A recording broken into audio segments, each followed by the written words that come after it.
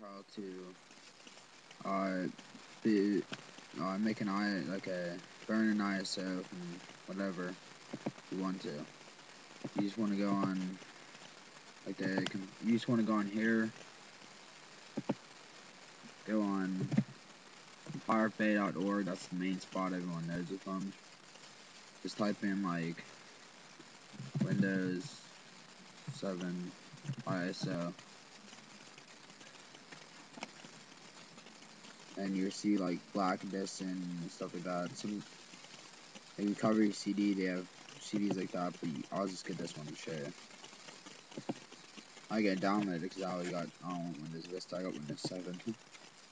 Alright, Infinite. Once you before this, you want I uh, alt either Ultra ISO, Power ISO, ImgBurn, whatever. I'm, I'm choosing Ultra ISO to show you.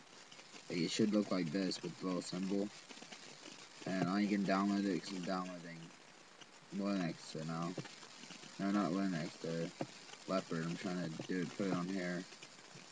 Once you got that, like it, it will look like this, but I made a fake one with Notepad.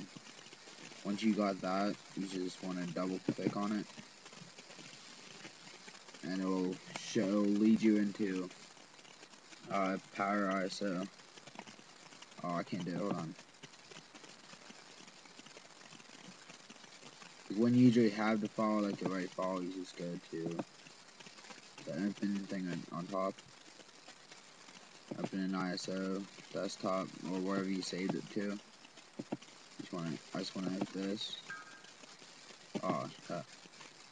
It wanted me to do it for some reason, but they probably fixed that part on here.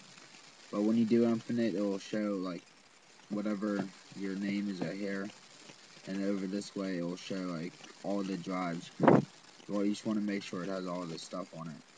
And once you're done, you just click this little image thing that says burn. And you want to put the, the speed, you want to you want to put the speed, right speed at the lowest. Because usually if you go maximum or something like that, it don't matter what your disk is, it's still going to mess it up. And it's not going to download quick. If you want, you can verify it. Like I usually don't do that because once it's burned, it it burn anyway. You can't do nothing to it.